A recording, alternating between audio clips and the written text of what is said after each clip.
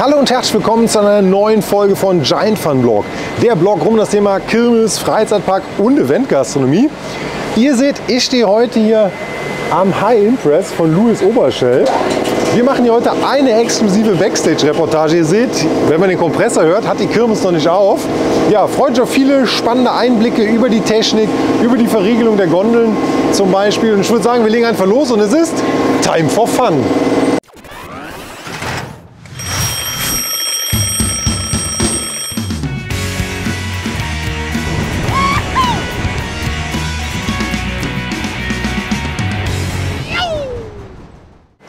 Hallo und herzlich willkommen zurück. Neben mir steht Louis Oberschelp. Hi Louis, schön dich mal Hallo. wiederzusehen hier Ja. am High Impress. Und ähm, viele kennen dich, aber einige kennen dich auch noch nicht. Vielleicht stellst dich einmal kurz vor. Ja, ich bin der Louis Obershape, bin 22 Jahre und ja, bin vom High Impress. Mein Vater besitzt den High Impress, den bin ich jetzt am Übernehmen seit diesem Jahr. Ne, Vorher war ich auch schon die ganze Zeit am High Impress, ne, aber seit diesem Jahr ist er dann offiziell meiner. Ja, und ich glaube, das war ein besonderer Moment, Moment für dich. Ne? Du bist am High Impress im Prinzip aufgewachsen. Ja, genau. Ich bin aufgewachsen. Ich bin schon seit klein auf, seit wir das Fahrgeschäft haben, bin ich natürlich mit dabei. Es war 2007. Seit 2007 haben wir den High Impress. ja. Ja.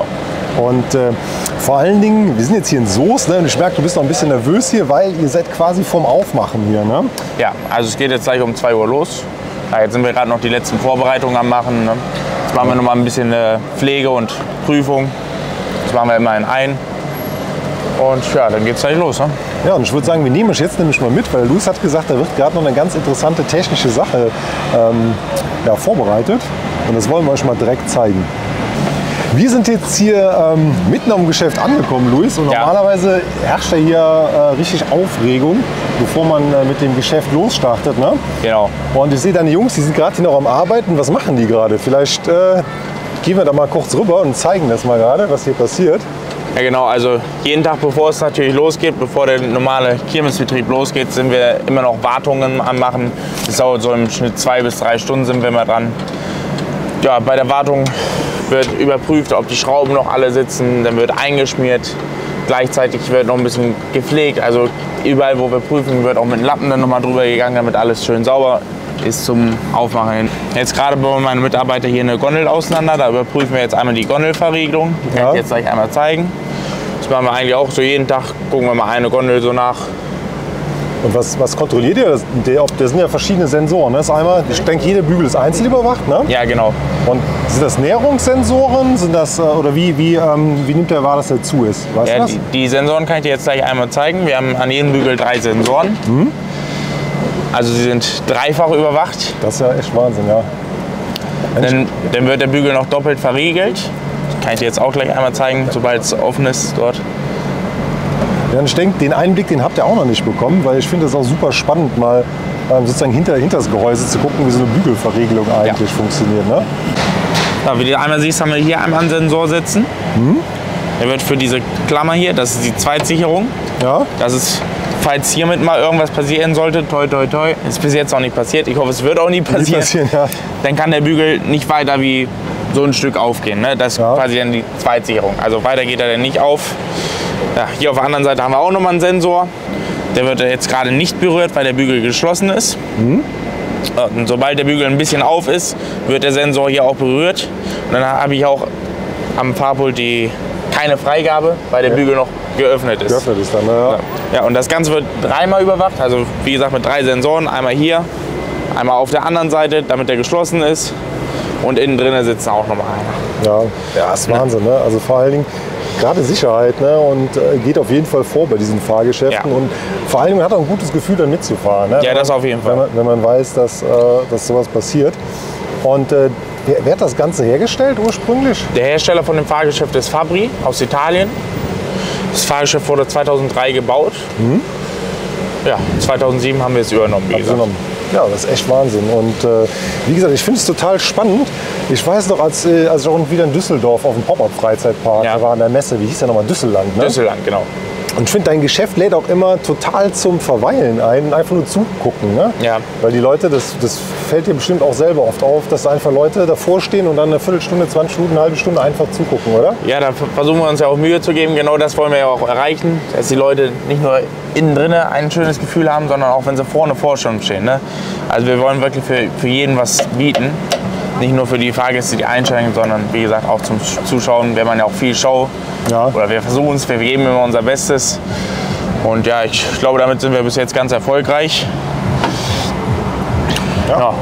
Und das eigentlich immer, wenn man lange ein Geschäft hat, ne, das spricht dann auch immer für den, für den Erfolg dann für so ein Ja. Geschäft. Ja, ja Luis, und äh, was ist eigentlich dein Lieblingseffekt hier am Fahrgeschäft? Mein Lieblingseffekt, ja, das ist schwierig. Also eigentlich machen alle Effekte Spaß. Der Feuereffekt ist abends natürlich am besten, wenn sie gerade ein bisschen passt mit der Musik, wenn es gerade abgeht und dann die Feuereffekte einsetzen, das ist schon cool. Ne? Ansonsten ähm, die Lufteffekte sind auch sehr schön. Ja, du hast ja einen Lufteffekt. Der Lufteffekt, der ist ganz witzig. Ne? Der, was, was macht der genau? Ja, im Grunde genommen tut er die Leute erschrecken. Das kann ich dir dann später beim Betrieb einmal zeigen. Ja. Und ja, ja ansonsten der Wassereffekt ist eigentlich auch klasse. Ne? Der spritzt nochmal 6 Meter hohe Wasserfontäne, kommt vorne raus. Ja, den kenne ich noch gar nicht. Hast du neu? Ja, ziemlich neu, ja. Ja, ja, wollte ich meinen. Also Wasserfontäne ist schon, äh, schon stark hier. Ja, und du lässt dir auch, wenn ich das so sehe, ne, immer wieder was Neues einfallen hier im Geschäft. Und, äh, und gerade auch dieses, ich finde wichtig, dieses mittendrin, dieses, gerade diese Moving Heads, ne, die Ja. erzeugen ja nochmal mit Nebel nochmal so ein wirkliches Gefühl, so mittendrin dabei zu sein. Ja. Ne? Und dieses Fahrerlebnis äh, wirklich intensiv ähm, zu betreiben. Und gerade, das, ich hatte das, das zu deinem Vater auch gesagt, ich finde immer cool, wenn man die Fahrt gemeinsam erleben kann als Fahrgast. Ne? Und auch hier ist man sozusagen eine kleine Gruppe, dann immer von vier Personen, die sich gegenüber sitzen. Ja, genau. Und ich finde das witzig zu sehen, wie der, wie der Gegenüber halt die Fahrt, Ja, das- das stimmt schon. wahrnimmt. Ne? Jetzt Das- bin ich auch der Meinung, dass wenn man sich sieht, macht die Fahrt mehr Spaß, wenn man Ja. als Gruppe zusammen sich sieht. Das ist auch so. Und, äh, ja, und ich finde auch, das Ganze verbindet. Morgen, ach, hi, Frank, und hier ist der Frank. Hallo, Frank, komm mal hier rein, dann kannst du auch mal kurz hier. Hallo. Hallo, ja, Frank, grüß dich. Schön, dich auch mal wieder zu sehen hier. Erst gar nicht erkannt hier. Ja, und wir sind ja bei dir gewesen. Ich sagte gerade schon auch zum Louis, das ist ja wirklich äh, toll, dass man ja auch hier die Fahrt zusammen äh, miterleben kann. Ne? Und der Louis ist ja mehr oder weniger auch hier im Geschäft auf, aufgewachsen. Er sagt, hat es dies Jahr von dir übernommen. Ja, und ich denke, das war auch für dich ein besonderer Moment, Louis, oder? Ja, klar. Ja. Habt ihr das vorher vorbereitet oder Frank, hast du irgendwann gesagt, hier, pass mal auf, Louis, Nee, das war, dieses ja, Jahr bekommst du das Geschäft. Äh, das war eigentlich schon geplant. Das ist halt dann, hat, war, gut, hat lange Vorbereitung gedauert, ja, aber geplant war es. war es dann, ja. Dann kam ja jetzt auch Corona dazwischen, da wurde dann auch nochmal alles nach hinten geschoben. Und, Ja, das ist echt Wahnsinn. Ne? aber jetzt Also- geht es ja langsam wieder bergauf. Ja, und ich muss sagen, ich freue mich richtig auf die Soester Kirmes. Die ist ja wirklich äh, sehr imposant ne? und durch die ganze Stadt durchgebaut. Und das ist auch nochmal so ein, äh, so ein ganz besonderes ähm, Erlebnis. Ja. Ja. War das schon mal hier in Soest? Ja, wir sind eigentlich öfters hier. Ja. Freuen uns jedes Mal, wenn wir dabei sein dürfen. Und ja, für uns ist es auch eine besondere Veranstaltung. Ich wurde damals, das war sogar meine erste Veranstaltung als Baby. Das Ja. hier war meine erste Kirmes direkt Ach, aus cool. dem Krankenhaus, bin Ja. ich hier hingekommen. Ja. Und ja, Ist schon, äh, ja, hat ist auch eine besondere Bedeutung dann, oder? Ja. Für einen selber dann, ja. ja ich sehe, dein Vater, der kontrolliert dann auch immer so ein bisschen, ne? Kann ich auch verstehen. Der kennt, das, kennt ja auch quasi jede Schraube hier vom Ja. Geschäft dann, ne? Und äh, verschafft sich dann einen Überblick.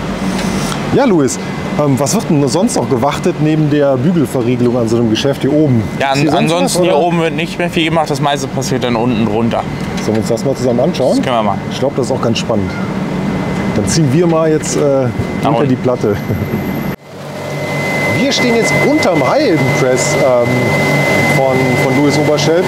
Ja, Louis, und ähm, das ist für mich, als auch, glaube ich, für die Zuschauer, einer immer sozusagen der Highlights, den, wirklich den Blick auch hinter die Technik zu bekommen. Ne? Und äh, wel welche Anlagenart sehen wir jetzt hier unten drunter? Welche Baugruppe? Ist das jetzt ähm, ist das der Antrieb für die, für die Platte oder was? was, äh, was Ja, wir, wir befinden uns jetzt hier unter der Scheibe. Hier befindet sich der Motor von der Scheibe, also der treibt die Scheibe an. Ja, wie gesagt, das hier ist der Motor. Ja. Und ab hier beginnt dann das Getriebe. So, auf dem Getriebe sitzt dann ein Ritzel drauf. Das treibt dann den großen Zahnkranz hier hinten an. Ja, dadurch dreht die Scheibe sich.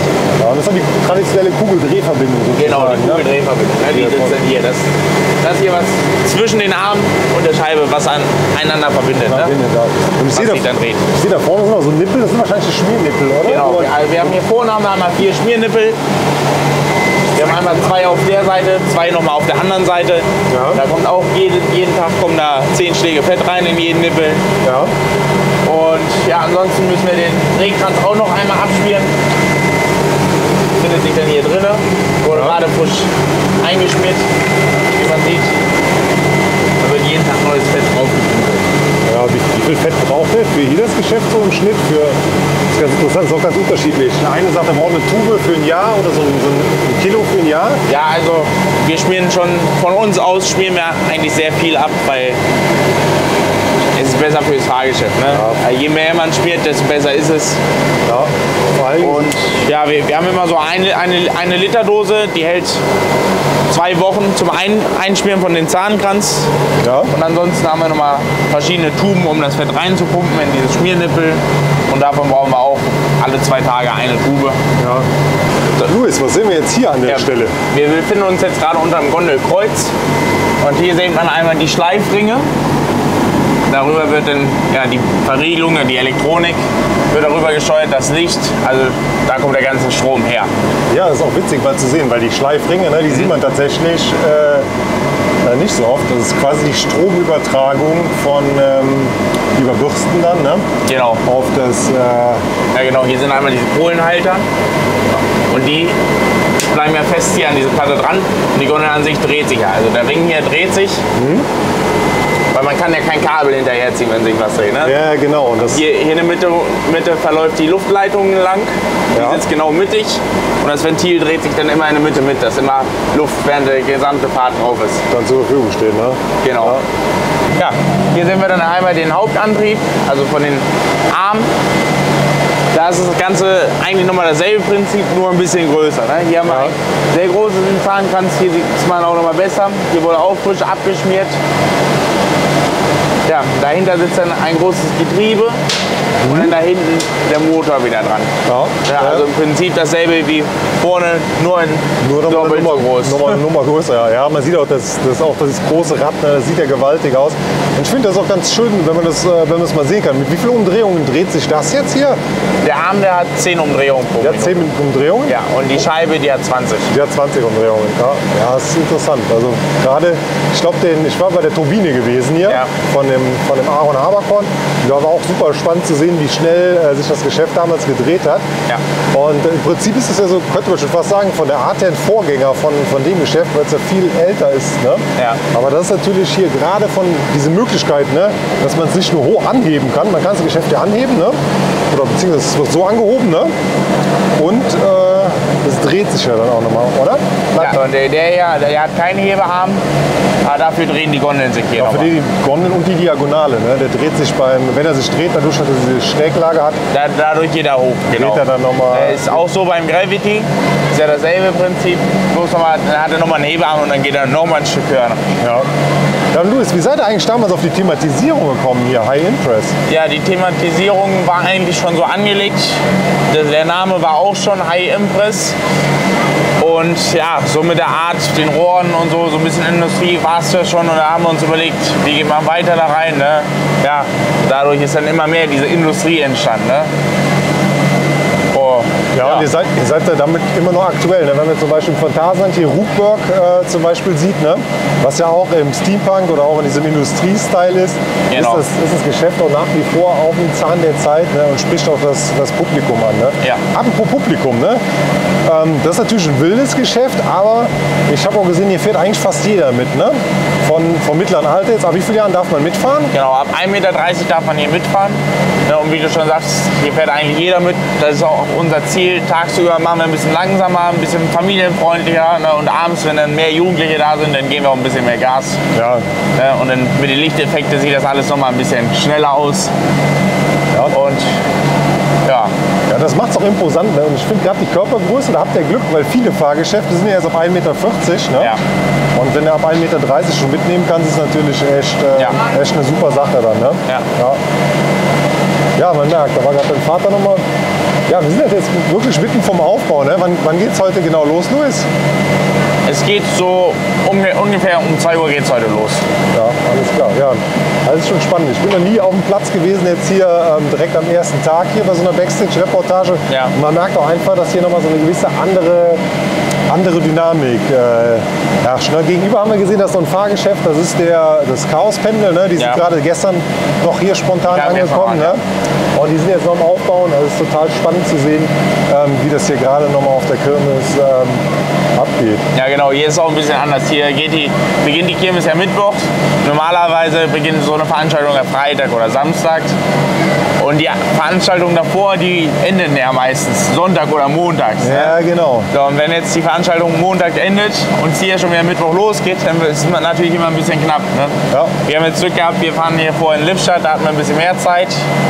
Gut, was heißt Zeit? Zwischendurch haben wir noch in Krange aufgebaut, da sind wir nochmal auf dem Kranger Weihnachtsmarkt. Also ja, die Tage. Krange? Ja, Mit- mit da, da haben wir noch eine, eine Rutsche, eine Rodelbahn. Ah, ihr habt eine Rodelbahn, so eine, so eine Wellenrutsche? So eine oder? Wellenrutsche, genau. Ah, cool. Die ist auch ein bisschen weihnachtlich so thematisiert. Damit sind wir auch jetzt nur eigentlich immer auf dem Weihnachtsmarkt. Dann. Ja. Ja, und ja, wie gesagt, wir hatten jetzt zwar ein paar Tage hier Zeit, aber ja, ja. Sind wir dann zu den anderen Fahrgeschäften gegangen oder Geschäften. Ja, ich glaube, das ist auch super interessant, so Weihnachtsmarkt, ne? Und gerade in Krange, ne? dieser Weihnachtsmarkt, der nennt sich, glaube ich, Winterzauber, ne? oder? Kranger Weihnachtszauber, ja. Kranger, kranger Weihnachtszauber. Das ist im Prinzip eine Kirmes kombiniert mit Weihnachtsmarkt. Ne? Ja, genau. Da gibt es einen riesen LED-Baum, habe ich gesehen, Ja. ne? auch in der Vorbereitung. Und ähm, ihr steht da mit der Rutsche. Ne? Ja, Und äh, für High Impress ist das der letzte Platz dieses Jahr oder Ja. fahren wir noch ähm, irgendwo hin? Nee, für den Heimpress hier so ist die letzte Veranstaltung. Ja, für den High Impress macht aus meiner Sicht Weihnachtsmarkt auch nicht so viel Sinn, ne? weil wenn man hier mit der hohen Geschwindigkeit sozusagen durch die Kälte dann äh, fliegt, dann, äh, dann macht es nicht so viel Sinn, oder? Wie, wie ist deine Ja. Wahrnehmung da? Ja gut, ist von Veranstaltung zu Veranstaltung unterschiedlich. Hier in Soest zum Beispiel sind es die Leute auch gewohnt, in eine Winterjacke Karussell zu fahren. Ja? Und ja, es gibt auch gute Weihnachtsmärkte für Fahrgeschäfte.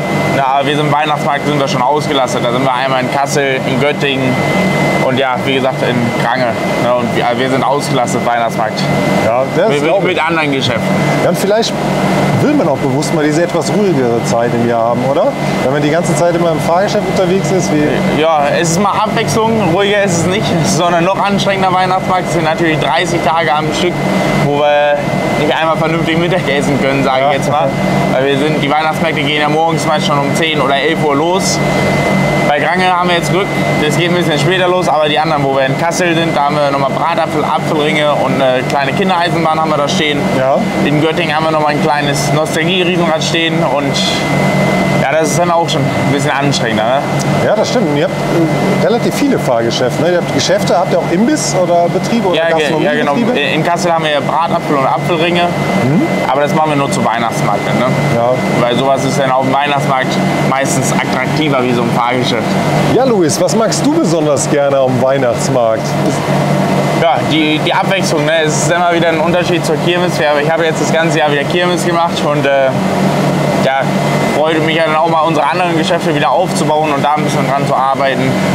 Und ja, auf dem Weihnachtsmarkt ist es dann nochmal anders. Ne? Ja, ja die weihnachtliche Vor die Stimmung, ne? gerade vor Weihnachten, die Weihnachtsmusik.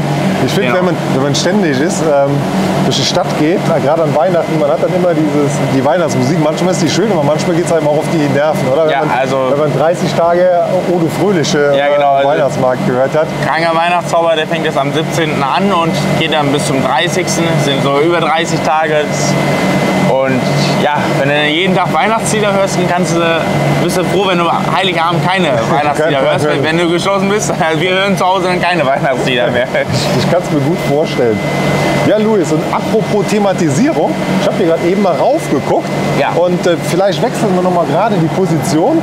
Ihr habt eine neue Rückwand bekommen, ne? Ja, die Rückwand habe ich dieses Jahr neu gemacht.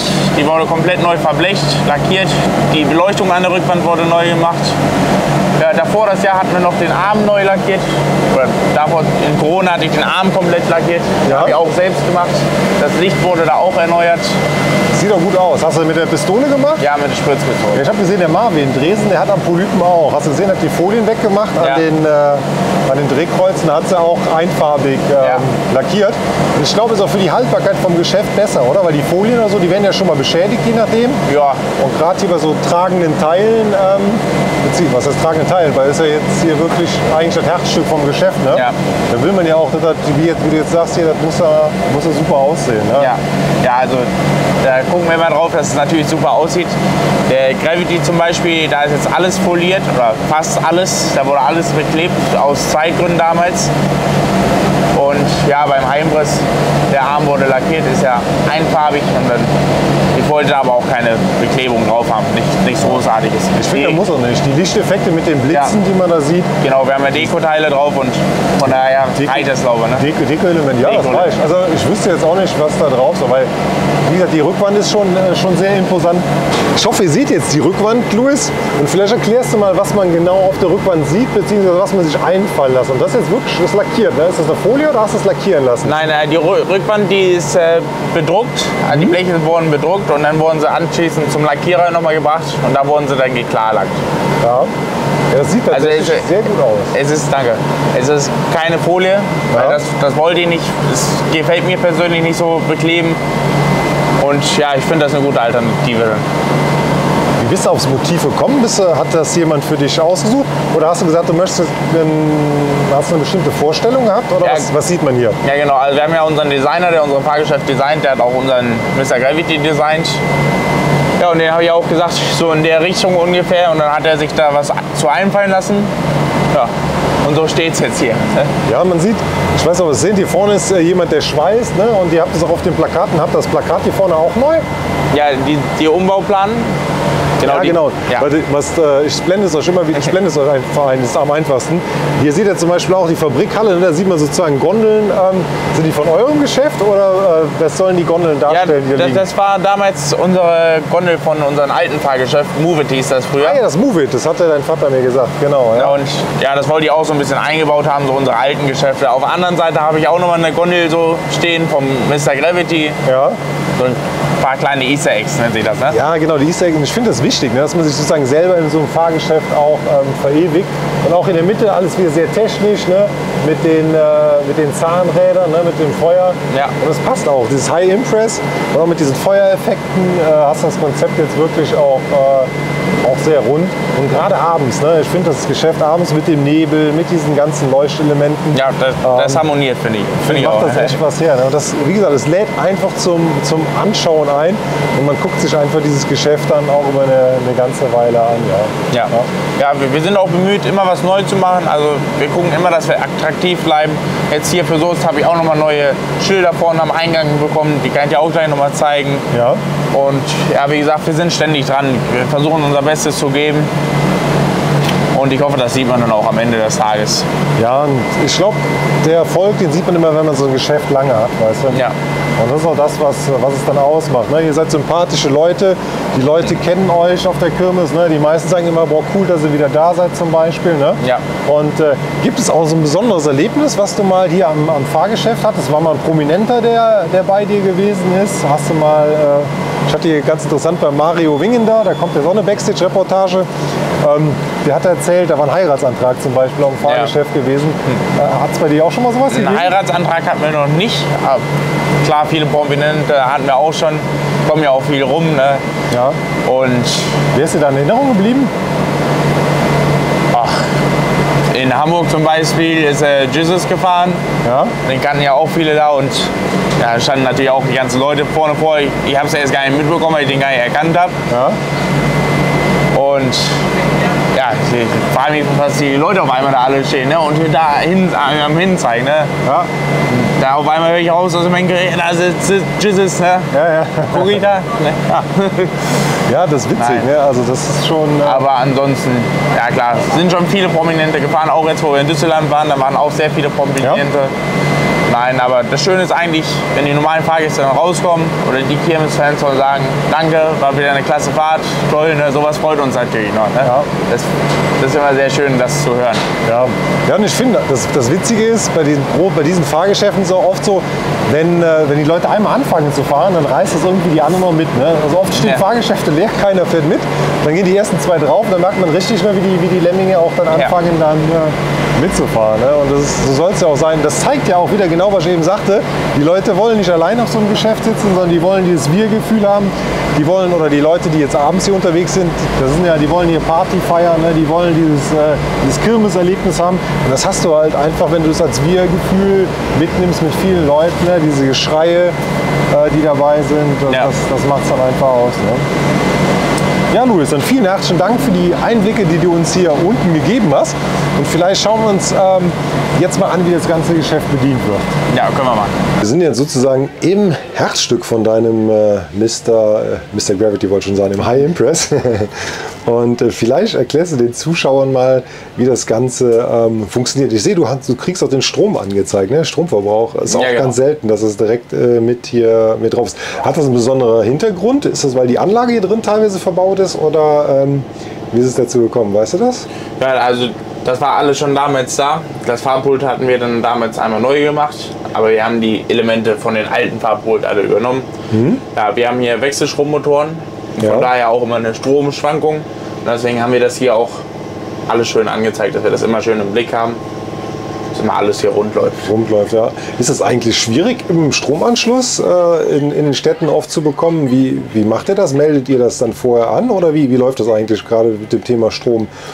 Ja, ja genau. Also die Städte haben ja meistens, die wissen ja, was wir für Strom verbrauchen. Das steht ja bei uns bei, bei uns alles in den Bewerbungen drin.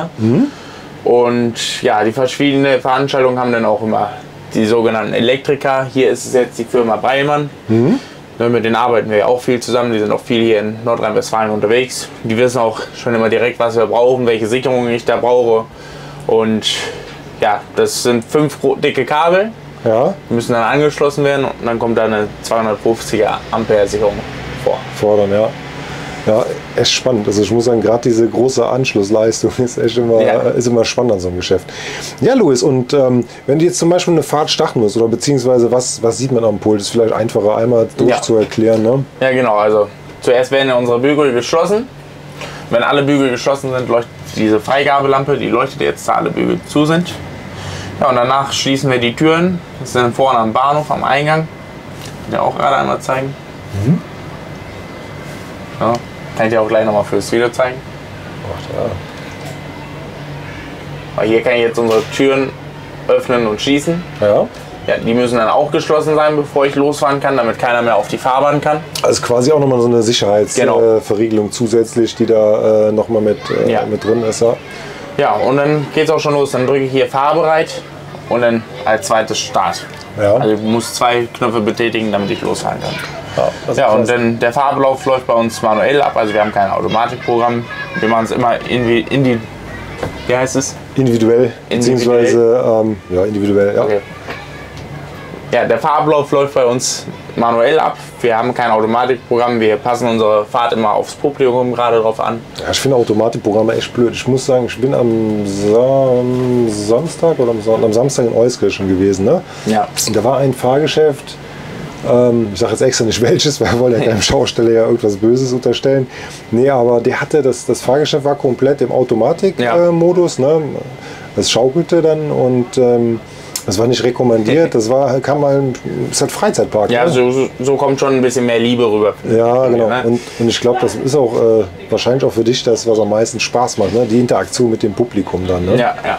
Ja. Ja, wie gesagt, hier links kann ich dann einmal die Geschwindigkeit von den Armen regeln. Und hier auf der rechten Seite dann den Teller.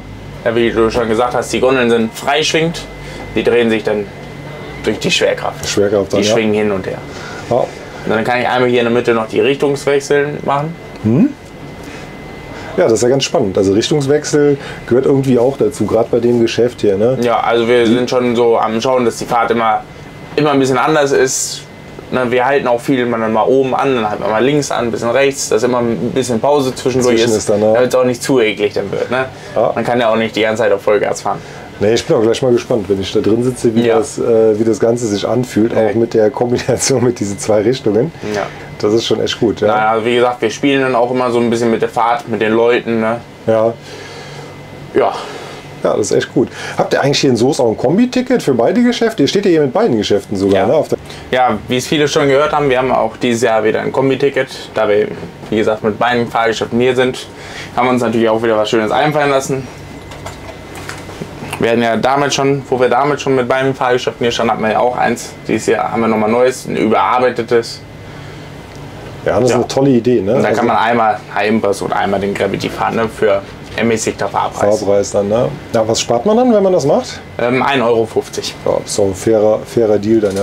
Fährst du eigentlich auch beide Geschäfte? Fährst du selber auf den Geschäften? Oder? Ja klar, also wenn Zeit ist, fahren wir auch mal selbst. Ja, ne? ja. Was, was ist dein Lieblingsgeschäft?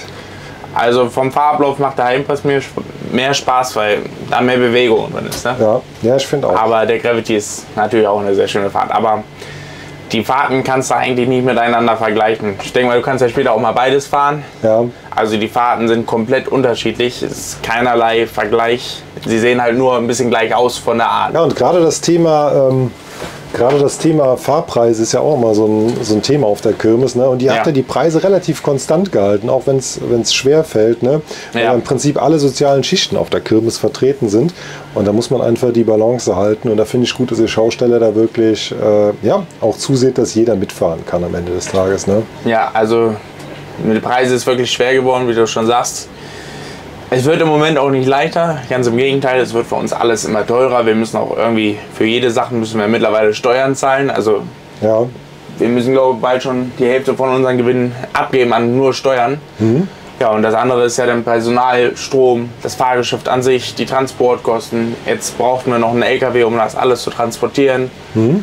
Und ja, das muss auch alles bezahlt werden. Ne? ja. Denn hinzu kommt noch unser Personalmangel. Da wird es auch im Moment nicht leichter mit, ganz im Gegenteil. Ist auch schwierig. Ne? Dies Viele, haben, Jahr. viele haben sich auch, glaube ich, daran gewöhnt, zu Hause zu bleiben Ja. ne? und nicht mehr zu reisen ne? und unterwegs zu sein. Wie du schon sagst, dieses Jahr sind schon ein paar Fahrgeschäfte zu Hause geblieben, gerade wegen dem Personalmangels. Jetzt habe ich schon öfters gelesen, die Kirmesfans schreiben, äh, jetzt kommt mir nicht mit Personalmangel. Das kann ich überhaupt nicht verstehen, weil wenn wir kein Personal haben, dann können wir das Fahrgeschäft nicht aufbauen und dann bleibt es zu Hause. Ja. Und Wie viel brauchst du für das, für das Fahrgeschäft aufzubauen? Wie viel Personal? Also ich muss auf jeden Fall zwei Mann noch dazu haben. Ne? Ich arbeite selbst sehr viel mit am Auf- und Abbauen. Ja, schöner ist natürlich mit drei Mann Personal noch dabei, aber es geht mit zwei. Ja. Dieses Jahr musste es auch schon mal mit ein Mann Personal gehen. Das, Echt? das ist Also- natürlich sehr schwierig. Man Ja. hat auch viel mit Kran gearbeitet, weil man auch viele Teile einfach zu dritt tragen muss. Ne? Ja. Und zu zweit ist schon sehr, sehr schwierig. Das ist schon ne? schwierig dann, ne? Trotz allem haben wir es dieses Jahr geschafft. Ne? Ja. Wie, wie lange brauchst du dann, wenn du zu zweit auf- und abbaust? Katastrophe. Hölle, Ja, oder? Nein, das, das dauert schon auf jeden Fall. Eigentlich, wenn ich ein eingespieltes Team habe, steht das Fahrgeschäft an einem Tag. Ne, am nächsten Tag wird dann nochmal abgewaschen, Pflege ein bisschen. Ne? Ja. Aber so grob steht es dann eigentlich an einem Tag. Ja, und wenn mir der eine Mann Personal schon fehlt, dann sind es schon drei Tage auf jeden Fall. Ne? Wahnsinn, ja, Ich muss dann natürlich immer schauen, dass ich noch eine Aushilfe bekomme oder dass mein Vater vielleicht noch runterkommt mit einem Mann Personal. Ne? Wir können uns eigentlich gegenseitig mal gut helfen. Mhm. Ja, aber wie gesagt, zwei Mann Personal brauchst du auf jeden Fall Auf jeden schon. Fall, ne? Ja. Ja, und wie gesagt, das Schlimme ist, wir müssen auch jede Woche ja auch wirklich eine Veranstaltung halten, Mhm. damit sich das am Ende alles rechnet. Also wir können jetzt nicht gerade mal sagen, ja gut, jetzt haben wir kein Personal, sagen wir jetzt die nächste Veranstaltung ab. Beessen sich schön für die Veranstaltung so kurzfristig, weil unser Personal ist ja auch immer kurzfristig auf einmal weg dann. Ja. Von Erdboden verschwunden, sage ich mal, ohne Grund. Ja. Es, ich muss sagen, es ist auch sehr anstrengend. Also, wie, wie schon gesagt, wir müssen jede Woche eigentlich eine Veranstaltung halten. Das haben wir dieses Jahr auch gemacht, um die Kosten von letzten Jahren wieder reinzukriegen. Reinzuholen dann, ja. Und ja, es ist anstrengend. Ne? Die meisten Veranstaltungen gingen bis Montag oder Dienstag und dann muss es Freitag schon wieder Wieder losgehen. Ne? losgehen, ja. Und dann muss das Ganze auch schnell umgesetzt werden. Im Grunde genommen haben wir keinen Tag frei mehr dazwischen jetzt gehabt dieses Jahr. Das ist natürlich dann auch nicht so schön fürs Personal. Ne? Personal, ja. Wir haben eben gesagt, es sind schon einige Deko-Elemente neu äh, gekommen dieses Jahr im Fahrgeschäft, ne? Ja, beziehungsweise ähm, Lichteffekte. Aber du hast natürlich auch Deko-Elemente, wie zum Beispiel, glaube ich, dieses Eingangsschild ist ganz neu, ne? Ja, also wie eben schon gesagt, wir sind immer dabei, was neu zu machen. Versuchen eigentlich schon fast jede Veranstaltung etwas Neues zu machen. Ja, die Schilder habe ich jetzt hier extra für Soße nochmal neu gemacht. Das sind die Eingangsschilder. Dann haben wir da drüben nochmal eins hängen und drüben auf der anderen Seite nochmal zwei Ausgangsschilder. Die sind jetzt hier in Soße nochmal neu dazu gekommen. Und ansonsten wird auch immer ein bisschen mehr ins Thema reingegangen. Ne? Ja. Da habe ich im Laufe des Jahres von hier die Ketten nochmal erweitert. Da wurde noch ein bisschen Grünzeug dran gehangen. Ja, ja ich glaube, das ist auch, wir sind immer dabei. Ja, da sind wir dabei. Und ich glaube, wenn wir einen Schausteller können ja eigentlich nicht ruhig sitzen, oder? Nee. Wie, wie, läuft, wie sieht bei dir eigentlich die Winterpause aus? Ja, die Winterpause ist natürlich, erstmal wird jetzt alles für den Weihnachtsmarkt dann wieder abgebaut. Und damit sind wir bis zum 3. Januar ungefähr beschäftigt. Ja, dann machen wir eigentlich mal kurz Pause, Ja. ein, zwei Wochen und dann geht es auch schon wieder los. Ne? Dann werden die Fahrgeschäfte werden die teilweise auseinandergenommen, werden Teile neu lackiert. Jetzt im Winter habe ich auch wieder viel vor, da werden die Paletten hier neu gemacht.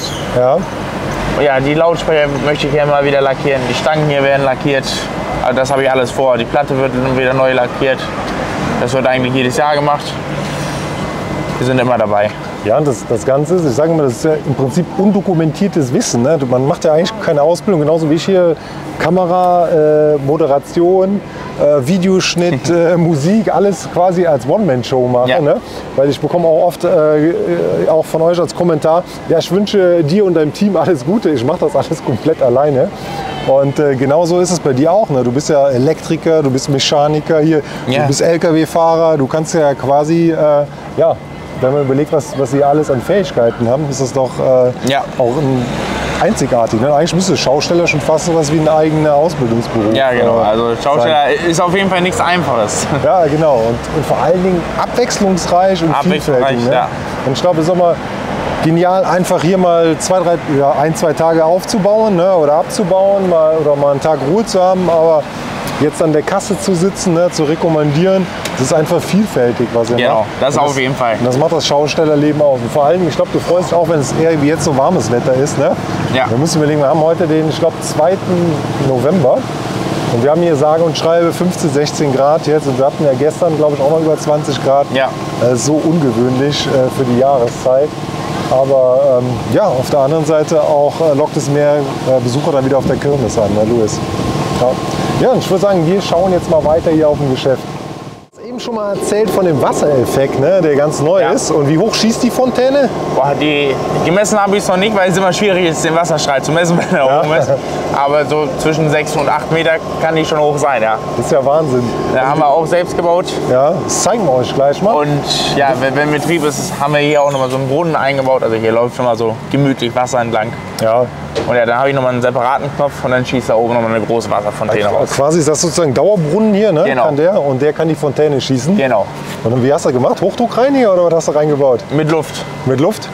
Ja, ist schon witzig. Das äh, wie bist du auf die Idee gekommen? Hast du selbst drüber nachgedacht oder hast du irgendwo also gesehen? Ich gehe auch selbst gerne in Freizeitparks und da guckt man sich natürlich auch, was machen die gut ne, und was könnte man da auch mobil umsetzen. Ne? Ja. Und ja, dann haben wir zu Hause in, Winter, in der Winterpause habe ich mal ein bisschen getüftelt alleine, ein bisschen Ja. was gebaut in der Werkstatt, guckt, was so funktioniert hat. Ja, und dann habe ich in der Werkstatt ein bisschen probiert. Bisschen, hatte ich mir auch so eine Wassertonne gemacht, dann dieses Luftteil da reingehalten. Da habe ich mal auf Start gedrückt und dann war die ganze Werkstatt einmal nass. Und dann dachte ich, oh, das geht ab.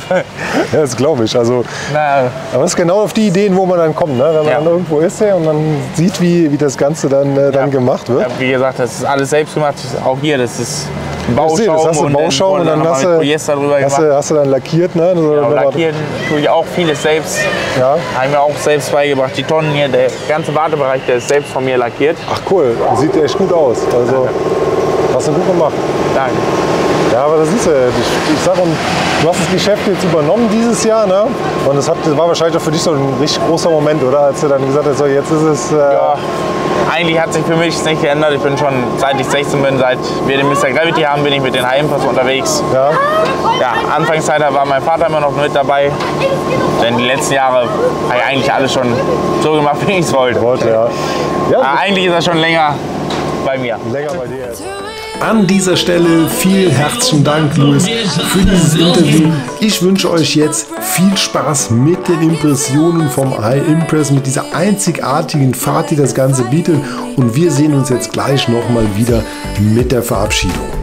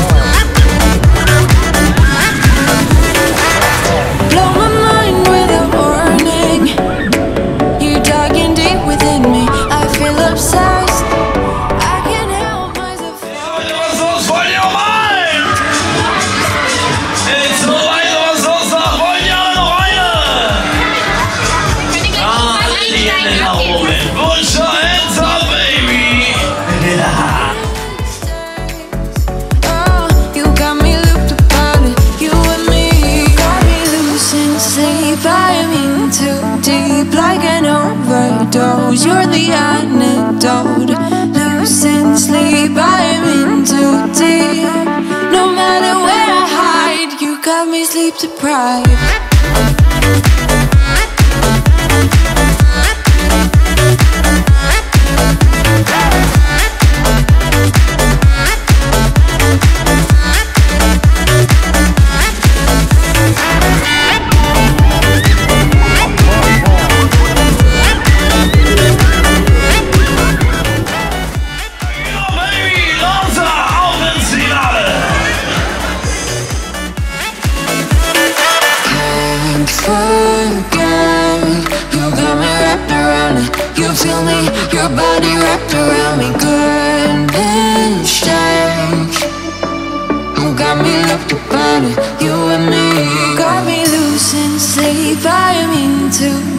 Like an overdose. You're the antidote. Losing sleep I'm in too deep. No matter where I hide You got me sleep deprived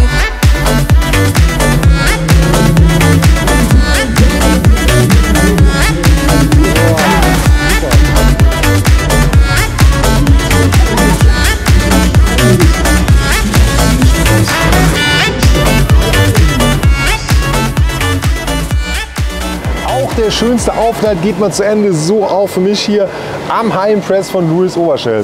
Louis, Dankeschön. vielen herzlichen Dank, dass du uns hier die Einblicke in das Fahrgeschäft gegeben Ja, hast. danke auch. Das war super, super spannend gewesen und äh, ja, ich glaube, das bekommt der Zuschauer auch sonst sehr selten zu sehen. Ja, wenn euch das Ganze gefallen hat, würde ich mich freuen, wenn ihr einen Daumen nach oben da lasst und auch in Zukunft wieder einschaltet, wenn es heißt Giant Fun Blog. Bleibt gesund, bis dahin, euer René.